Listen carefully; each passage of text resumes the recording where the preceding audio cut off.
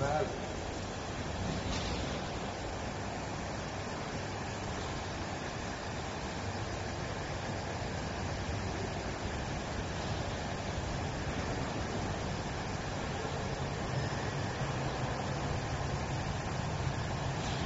faudra qu'on voit après, temps euh, pour, euh, une fois qu'il sera monté. Ouais, c'est ça. Ouais, il y aura sûrement des modifs.